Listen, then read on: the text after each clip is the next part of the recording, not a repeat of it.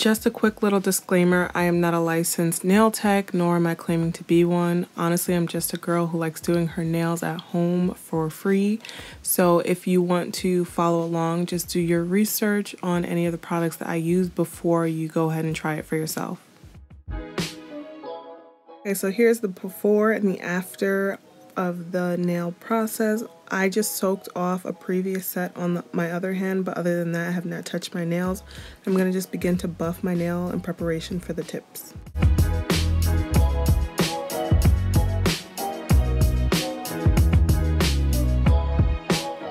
And very quickly, for some reason my camera wasn't focusing on certain parts of the video. It was just like kind of going in and out. So for that, I apologize. This is my first time ever trying to record like this, so bear with me. Now I'm just using this file. It has 180 grit, which is the level, I guess, of like roughness for the file. Again, I'm not a professional, so this is, I just kind of picked it up and I just wanted something that's like um, pretty much will get the job done. I'm going to just start shaping my nails. Even though we are applying the tips, I just kind of want to make sure my nails are clean and polished before I apply them. You want to make sure that you have just a brush on hand so you can brush away like the dust particles as they build up. This is honestly just like a, an old makeup brush that I never used, so this is what I use for my nails now. I'm going to just spritz on some antibacterial cleansing spray just to make sure that there's no residue of like oil on my nails so that the um, glue can adhere to the nail properly. This is an electric drill that I purchased from Amazon. All the products that i am using in this video, I honestly purchased either in Amazon, on Amazon or in Sally's beauty supply store. This I've had for years, so it's very dusty and very old, but it still works very well. So I'm going to just use this drill head just to begin working on my cuticles. It's honestly very important that you like file around your, the cuticle area so that when you apply the SNS uh, dip powder and like the um, adhesive, it sticks to the nail so you can avoid lifting.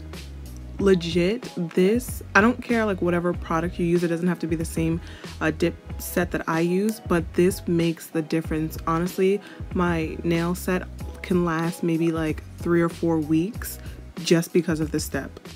Personally, I keep my drill setting on low just so that I don't um, over buff or over like file my nails.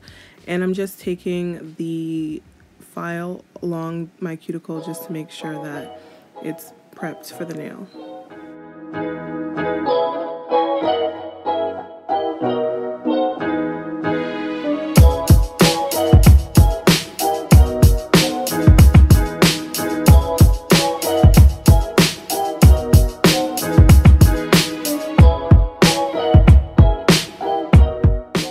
And I'm just taking the cuticle clipper just to clip my cuticles. And honestly, don't over clip your cuticles because you don't want to damage anything.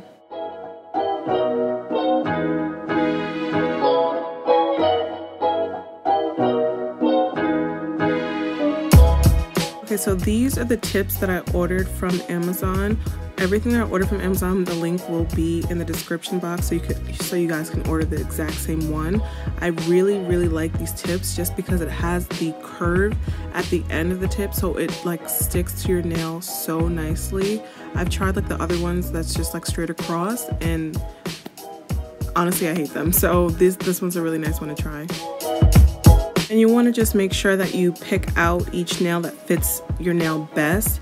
Don't make sure that it's not a size too small because like that will really cause like discomfort later on. So even if you have to file it down, but this this nail set like matched my nails perfectly. I didn't have to do that, but just if you do, just make sure you get a bigger one, just file it down rather than just like settling for a small nail. And obviously when you begin to like glue the nails, just hold it for a second so the glue can like dry in place. But like, do you see how well this just fits on like each of my nails? Like I love these tips.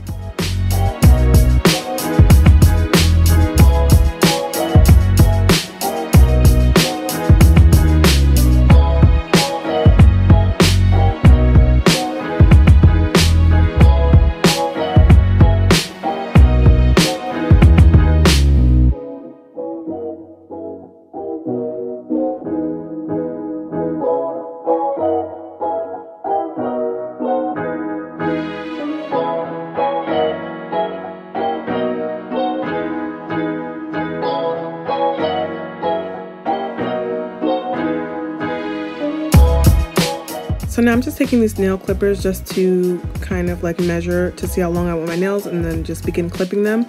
This isn't my nail clipper, this is my mom. She is actually like a professional nail tech, but I was at her house doing my nails. The purple ones or the pink ones are the ones that I normally use, but I got glue on it so it was kind of stuck. But I'm gonna have the purple one linked down below because that's the one that I normally use. And normally like when you clip them, like it like pops off like quickly. I think just because like the blade is like very old and it's not as sharp as it like, once was. So if you like purchase them, it's easier to clip I'm like struggling over here.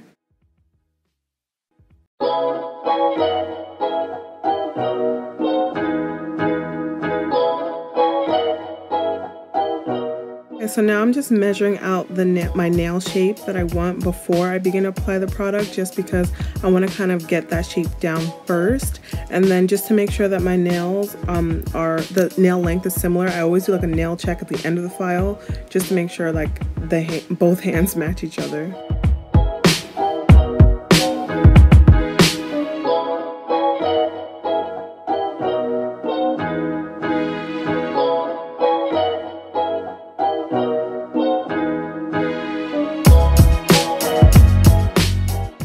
Okay, so I'm to just dust away the residue as well as take some more of that antibacterial spray and wipe off my nails just to make sure it's dehydrated. Bond Aid by OPI, which pretty much it helps honestly like bond the product to your nail so that it prevents lifting. I just apply this to my actual like my natural nail, not on like the tips because it really does not matter.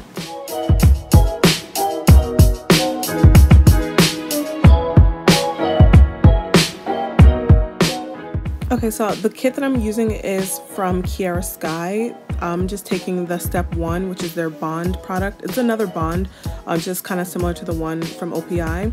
I'm just gonna follow the steps. Honestly, this kit was worth it. It comes with all six steps and five different powders. The one that I'm using is uh, dark pink, and I really love this, especially with the polish that I'm gonna use at the end.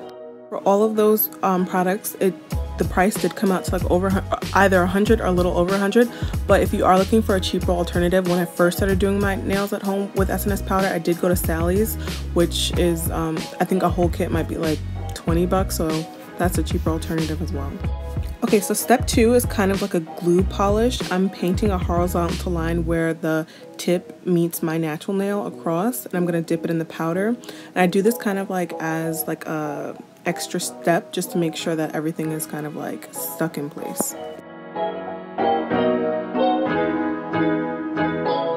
You want to just dip the nail in for like a second and tap off the excess. At the end, when I do all the nails, then you're going to take your brush and dust off the residue powder and then begin coating a second later layer down uh, vertically. Another thing you can do before you begin to apply the dip powder is um, when you finally glue on the fake tip, you can take your buffer and your file and file down where your natural nail meets the tip just so it's um, smoother. I honestly forgot to do that, but as you'll see in the end, it really did matter, but it saves you time later on when you have to buff out the ridge. So exactly where the horizontal line begins, I'm taking the brush and starting from there to the end of the tip. And I'm going to just build up this um, powder in layers so that it can build up the apex on the nail.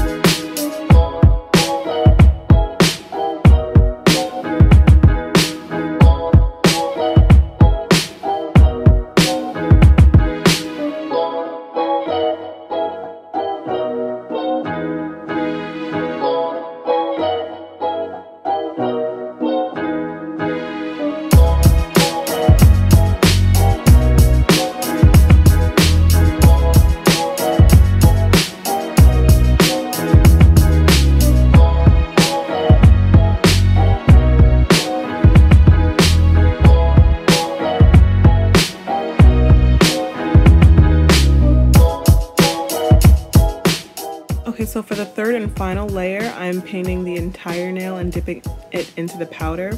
sometimes like if for whatever reason you do have like a little like blotchiness or spots you can always go in for a fourth layer but just make sure that to avoid that you can just polish on thin layers of the glue so it's not clunky in any area and more powder sticks to one area.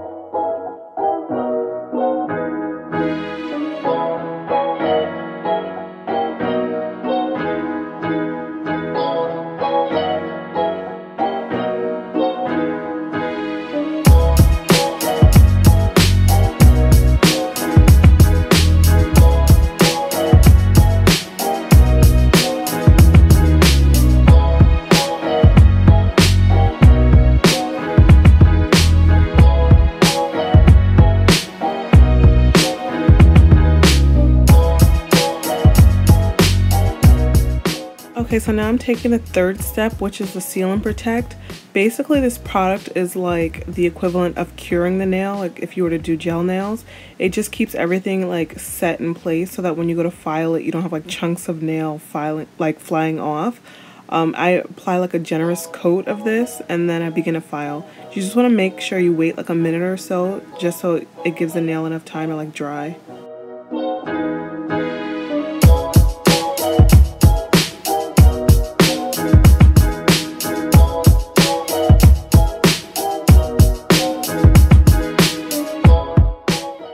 Taking my buffing drill head and I'm going to begin to file my nail. I'm honestly just buffing up and down, side to side, just pretty much trying to get the nail as smooth as possible. Again, this is on a very low setting, so like even if it like touches my skin, it's not cutting me at all. Um, I'm just going to go in with the filing at this like this point. Like I'll use my drill head, my buffing block, and my 180 grit file just to make sure that I shape the nails to my liking.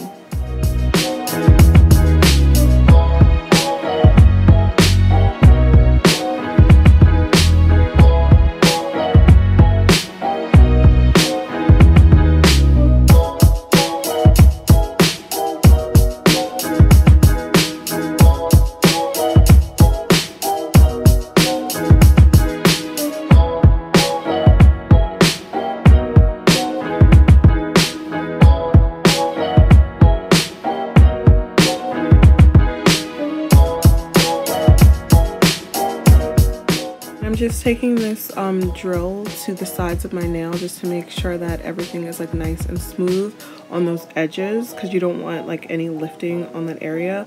Um, before I used to kind of like neglect this area and I just felt like my nails wouldn't last as long. That's probably just like something that like really doesn't matter but just for me personally like it just looks better it looks neater when you focus not just on like the surface of the nail but the sides as well.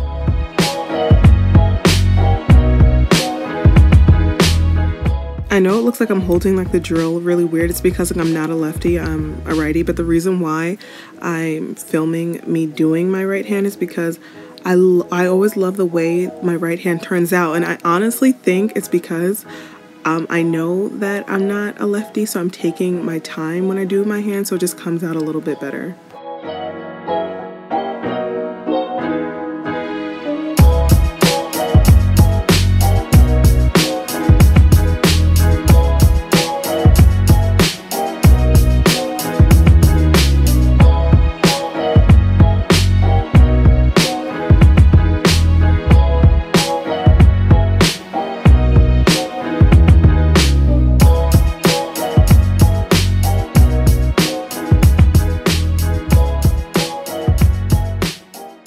Okay, listen, do not neglect underneath your nail. Just make sure that you just give it a quick little file so that it just kind of like shapes the nail a little bit better and you don't like have any residue of unwanted nail product.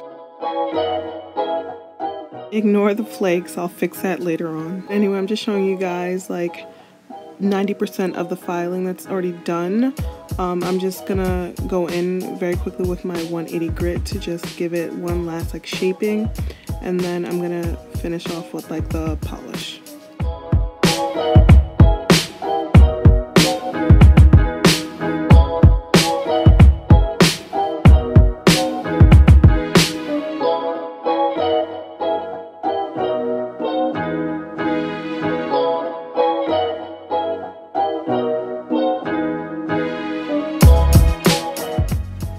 Second, you're to see me just filing the entire surface of my nail with the same file. The reason why I'm doing this, I'm just creating a rough surface so that the gel polish can adhere to something. If you skip this step, your gel manicure will start lifting in a day or so. So learn from me and just quickly file the entirety of the nail, the sides and the tips too. Taking my absolute favorite gel polish, which is from OPI, it's called Bubble Bath. It's the perfect pink shade that honestly goes with anybody's like skin tone. It's so, so pretty. I literally get compliments on this color all the time. And the LED light that I'm using is also from Amazon, and again, that will be linked below. And now I'm gonna just begin to polish this. Uh, I'm only doing one coat of this polish, but like look at the color that it's giving like it's just so pretty and it's so sheer it's not overpowering at all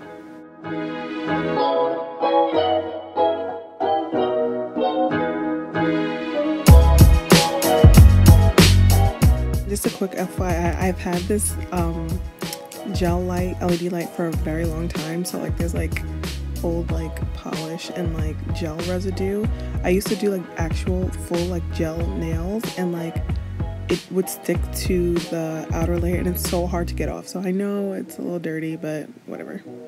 Make sure you take the gel polish to the tips of your nails as well so that it doesn't cause like the polish to lift as well. So you're gonna do one thin layer on the top and then one quick little coat on the tip of the nail.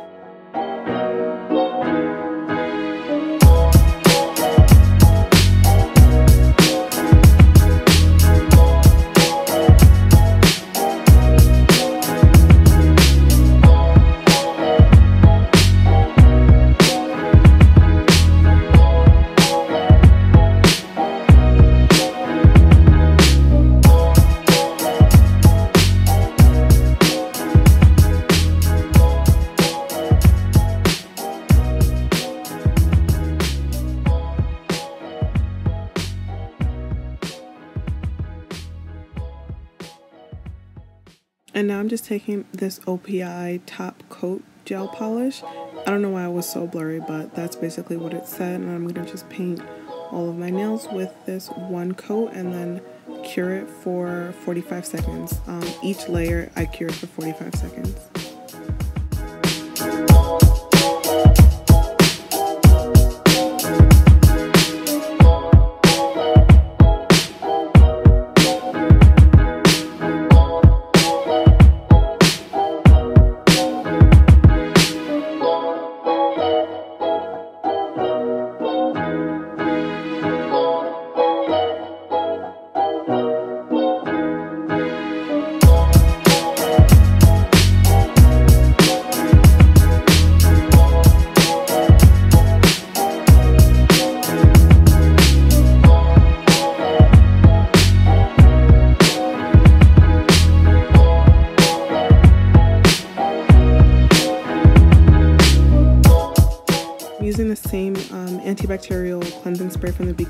Spraying it on a cotton ball just to wipe off the sticky layer from the top coat.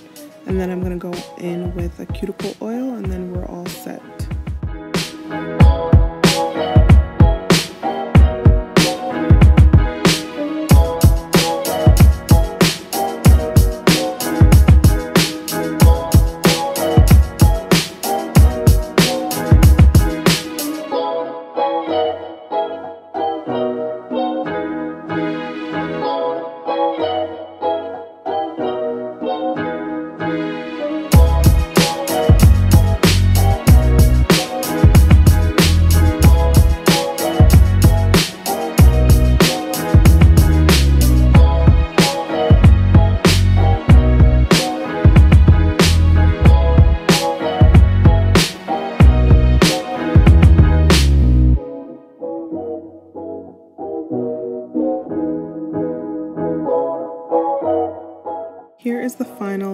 Final result. This is like my go-to at-home DIY nails.